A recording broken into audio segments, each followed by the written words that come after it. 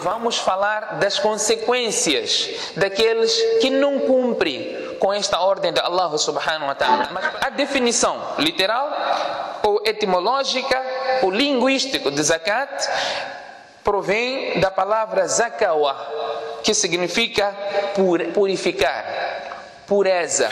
Tudo aquilo que está na nossa posse, nós vamos sair deste mundo e ninguém vai levar. Por mais que alguém faça um ossia, deixar um legado, um testamento, que eu quero que este meu anel, esta minha joia, isto que eu tenho, que seja sepultado junto comigo. Os familiares serão os primeiros a dizer que isso nós não vamos aceitar. O dono absoluto dos bens que nós possuímos é Allah subhanahu wa ta'ala. Ganhamos o que não devíamos ganhar. Você fez de tudo para pesar 2 quilos de açúcar, mas a balança estava viciada, não por sua vontade, e você acabou dando a menos. Você está a ganhar não de forma adequada.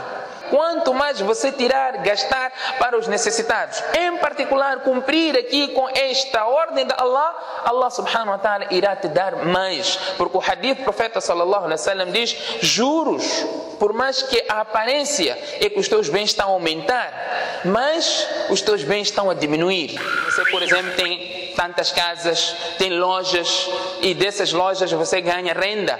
É dali que você tem que pagar o zakat. E para além daqueles 100 mil meticais que você tem, você também tem cinco carros que você está a vender. Esses carros são mercadoria. Então deverá ser somado é, o valor desses carros que serão abrangidos aqui no valor que você tem, que deste, da soma, diz que você terá que pegar, pagar 2% e meio para os necessitados ou para aqueles que são os destinatários do zakat. O não muslim que tem uma inclinação para o Islã, dando ele zakat, esta pessoa poderá se tornar muçulmana. Outras pessoas não olham para o propósito.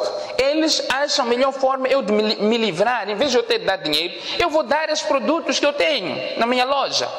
Muitas das vezes têm sido produtos fora do prazo. Pegamos aquilo, vamos dar numa instituição, uma instituição islâmica. Você está a dar uma coisa que você não estaria pronto a receber. Nós temos que ter em mente que estamos a fazer uma ibada.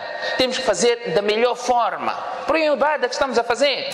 Todo aquele que deixar de pagar o zakat, Allah subhanahu wa ta'ala vai envolver ele numa peste, numa situação difícil, numa calamidade, pelo incumprimento do zakat. Pelo incumprimento, Allah subhanahu wa ta'ala mostrou a realidade deles. Até um deles diz: Qala usatuhum, alam akul lakum laula.